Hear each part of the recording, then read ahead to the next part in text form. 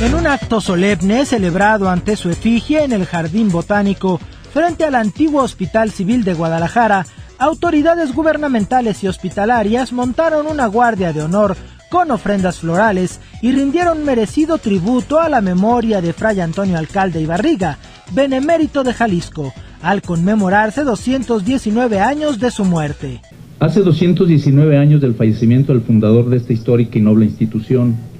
este día rendimos un merecido homenaje a un visionario hombre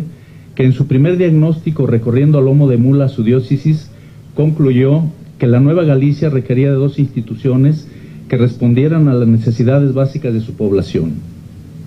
En primer término, que se contara con un amplio refugio para atender a la humanidad doliente.